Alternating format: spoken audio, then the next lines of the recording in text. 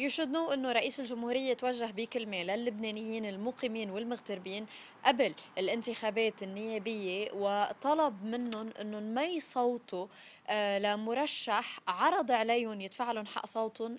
تاني خبر بيتعلق آه، بموضوع مفتاح آه، قضاء كسروين الفتوح فطلع عن وزارة الداخلية بيان آه، قال إنه وزير الداخلية إنه هذا المشنوق طلب من محافظ جبل لبنان إنه يستدعي رئيس اتحاد بلديات كسروين الفتوح جوان حبيش على خلفية تقديمه مفتاح كسروين للمرشح حسين زعيتر وعبره للأمين العام لحزب الله. لحتى يسألوا حبيش عن ظروف تقديم المفتاح وإذا كان صادر قرار عن مجلس الاتحاد بهيدا الخصوص. وثالث خبر والأخير عن مقتل شاب بإشكال بصربة آه وبعد أقل من ساعتين على هيدا الحادث آه أوقفت استخبارات الجيش كل المتورطين بالجريمة وعددهم سبع أشخاص.